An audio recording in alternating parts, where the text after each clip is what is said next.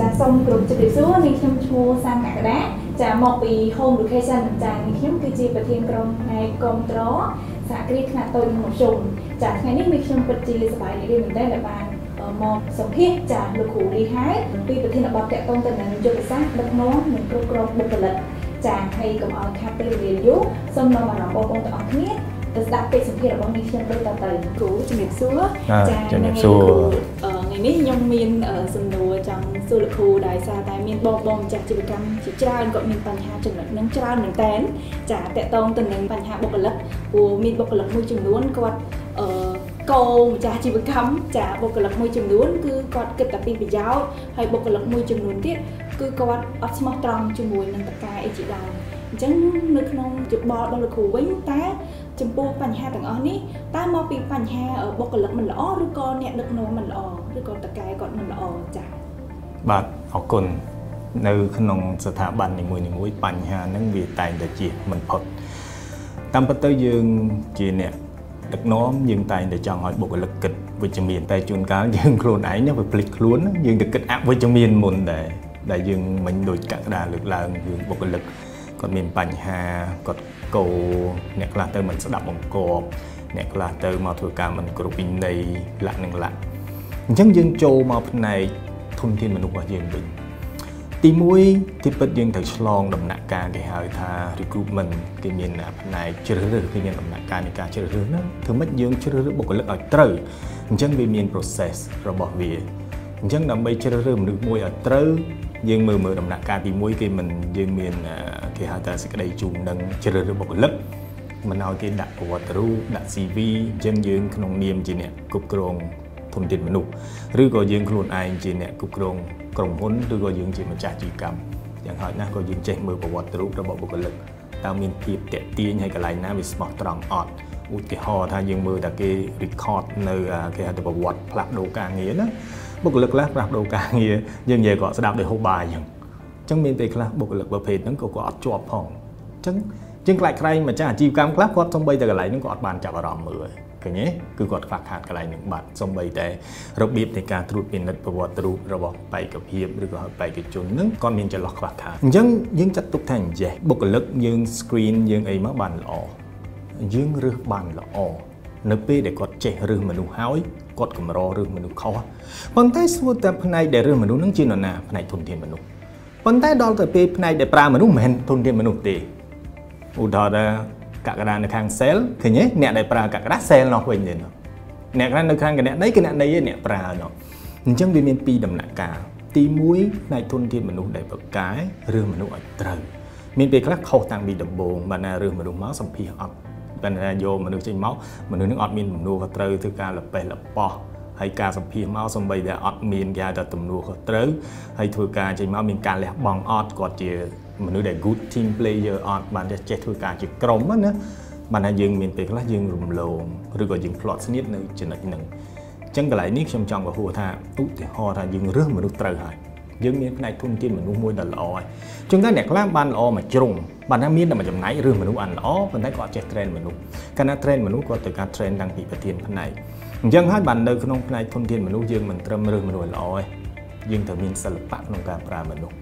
ឧទាហរណ៍កក្កដាអញ្ចឹងបើមេគំរុះគំរឿយដាក់ជើងប្រើយើងនិយាយមិនចង់មើលមុខយើងចំយើងចង់ធ្វើតាមយើងអត់ទេមែនទេចឹងយើងអាចលេះលោះទៅតាមនឹងដែរត្រូវអញ្ចឹងមានន័យថារឿងមនុស្សត្រូវហើយមានពេលខ្លះយើងស្ដាយនៅពេលដែលមេអត់ចេះប្រើមនុស្សពីព្រោះមនុស្សយើងប្រើយើងមិនប្រើតែរូបកាយឯសំខាន់ចិត្តយើងយល់ចិត្តកូនចៅអត់ មនុស្សយើងដែលគេថាចេះប្រើប្រើងាប់ចោលមែនទេកន្លែងហ្នឹងអាចជាខាងអ្នកគ្រប់គ្រងក៏គាត់មានបញ្ហាមួយដែរមិនន័យថាអ្នកខ្លះអត់ take care មួយកូនចៅនិយាយគាត់ស្ដាប់ជួនកាលធ្វើការមួយកូនចៅមួយខែមិនទាន់និយាយមួយកូនចៅម្ដងក៏មានដែរកក្កដាជឿថាអាចមានរឿងនឹងកើតឡើងទេ មានអញ្ចឹងមានថាមានពេលខ្លះអ្នកគ្រប់គ្រងខ្លះប្រឡែងកូនចៅចោលឲ្យកូនចៅធ្វើតែខ្លួនឯងដល់តែគេធ្វើមិនបានតាំងចាប់ដើមហៅមកស្ដីឲ្យហៅមកពមៀនឡានឹងឡាកន្លែងហ្នឹងអាចធ្វើឲ្យកូនចៅហ្នឹងមិនសប្បាយចិត្តកូនចៅគេធ្វើតាមដំណើរដល់ធ្វើតាមដំណើរចូលកក្កដាអ្វីដែលលើកឡើងថាគេកោមកទៀតហើយអញ្ចឹងបញ្ហាជួនកាលវានៅម្ដុំហ្នឹងតែទោះបីជាយ៉ាងណាក៏ដោយបញ្ហាដែលកើតឡើងគេមើលមេមុនដូចយើងចំណាំនិយាយថាកូនអត់ល្អគេមើលថាម៉ែអើចេះបដៅកូនអត់ ហើយកូនហ្នឹងយើងជាអ្នករើសចូលដោយខ្លួនឯងអញ្ចឹងបញ្ជាក់នៅកន្លែងនេះមួយថាបើយើងថាបញ្ហារបស់កូនចៅហេតុអីក៏យើងរឹសគេចូលយើងត្រូវទទួលស្គាល់មានន័យថាយើងអត់ទាន់ចេះរឿងមនុស្សឥឡូវយើងចេះរឿងមនុស្សហើយរឿងមកត្រូវហើយប៉ុន្តែយើងអត់ទាន់ចេះប្រើមនុស្សអញ្ចឹងកន្លែងហ្នឹងកាលណាយើងប្រើមនុស្សយើងដល់ចេះតាំងពីចិត្តសាស្ត្រឡើងបានន័យថាការងារមួយយើងចង់ឲ្យគេធ្វើដោយដាក់ចិត្តដាក់ថ្លើមតើយើងខ្លួនឯងនេះមានយកចិត្តដាក់អត់ឥឡូវឧទាហរណ៍ណា បុគ្គលិកមួយធ្វើការដល់យប់បានអីមេសួរនាំមិនតែធ្វើការងារដល់យប់ចឹងហើយហូបបាយនៅអីនៅបានមេ take care ចំពោះខ្លួនចឹងបុគ្គលិកធ្វើការអត់ចេះហត់ទេ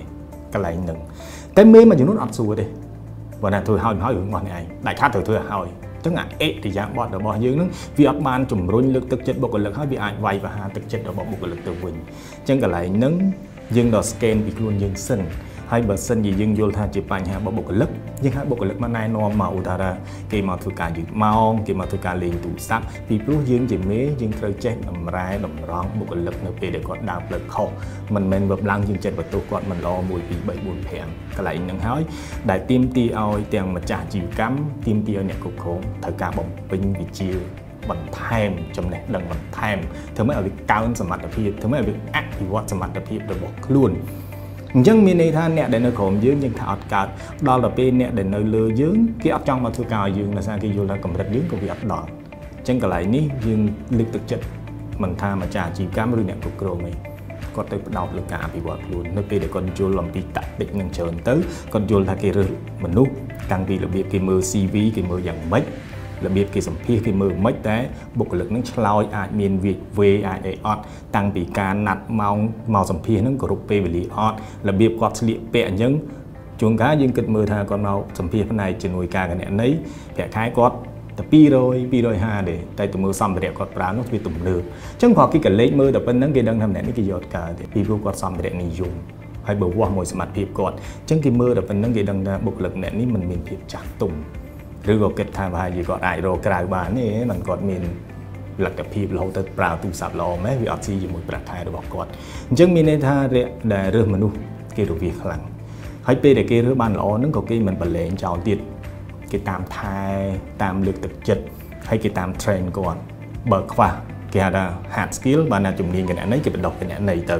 បើសិនជាម្នាក់ហ្នឹងគាត់ខ្វះគេហៅថាផ្នែកស្មារតីឬយើងហៅថាជំនាញទុនឬ soft skill ហ្នឹង គេបញ្ចូលឡើងហ្នឹងធ្វើឲ្យគាត់មានកម្លាំងទឹកចិត្តសូម្បីបុគ្គលិកខ្លះមានបញ្ហានៅក្នុងគ្រួសារគ្រាន់តែថាកូន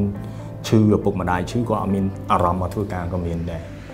យល់ដែរហ្នឹងឯងប្តីប្រពន្ធឆ្លោះគ្នាអញ្ចឹងទីមទីឲ្យអ្នកគ្រប់គ្រងមួយគាត់មានសិល្បៈច្រើនណាមានពេលខ្លះគាត់ take care ទៅលើបុគ្គលិកមានបញ្ហាអីគាត់មានការសួរសុខទុក្ខអីឡាក់ហ្នឹងឡាក់អញ្ចឹងសរុបមកវិញដើម្បីឲ្យស្ថាប័នមួយវាមានអាភាពសុខដុមរមនាហ្នឹងលុះត្រាតែមេមុនចាប់ដើមគិតវិជ្ជមាន